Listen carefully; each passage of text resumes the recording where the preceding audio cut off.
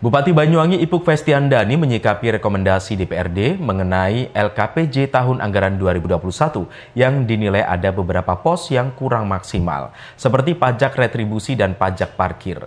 Tidak tercapainya target itu dikarenakan banyaknya warga yang meminta relaksasi dan keringanan pajak selama pandemi COVID-19. Dewan Perwakilan Rakyat Banyuwangi menyoroti beberapa pos anggaran yang kurang maksimal seperti retribusi pajak dan parkir. Sementara Bupati Banyuwangi Ibu Festiandan mengatakan penyebab belum terpenuhinya target di dua pos pendapatan daerah tersebut, yakni karena banyaknya warga yang meminta relaksasi dan keringanan pajak selama masa pandemi di tahun 2021. Sehingga kebijakan tersebut memiliki imbas terhadap besaran pendapatan daerah. Dijelaskan Ipuk pemberian relaksasi dan keringanan pajak selama pandemi kemarin dilakukan karena masyarakat memang membutuhkan kebijakan tersebut sehingga pemerintah daerah melakukan hal itu meski memiliki imbas terhadap pendapatan daerah.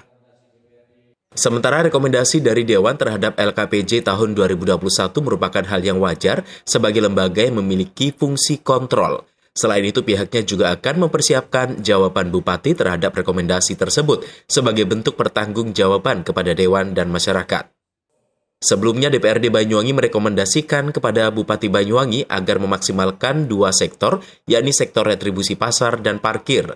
Sebab dua pos pendapatan daerah tersebut pada tahun anggaran 2021 kemarin belum memenuhi target. Karena pandemi COVID, kemarin banyak sekali pihak-pihak yang meminta relaksasi relaksasi atau keringanan di bidang pajak sehingga kita mau nggak mau akhirnya pendapatan asli daerah berkurang karena itu jadi uh, ya ini realisasi dan um, apa ya konsekuensi ya. konsekuensi dari kebijakan yang kita ambil karena di satu sisi kita ingin pendapatan asli daerah naik tapi di satu sisi kita juga ada humanisme lah um, um, empati kepada ya. para pengusaha yang sedang kesulitan karena covid ya.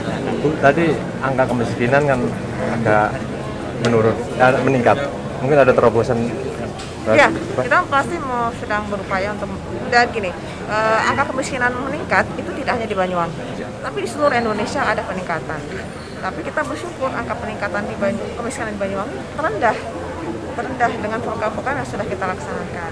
Nah, maka ke depan untuk mengurangi angka kemiskinan kita akan mengambil langkah-langkah cepat program-program yang nanti uh, akan fokus uh, dalam uh, peningkatan pertumbuhan ekonomi lalu peningkatan lapangan pekerjaan seperti itu sehingga nanti ini juga bisa mengurangi angka kemiskinan. Abdul Aziz CTV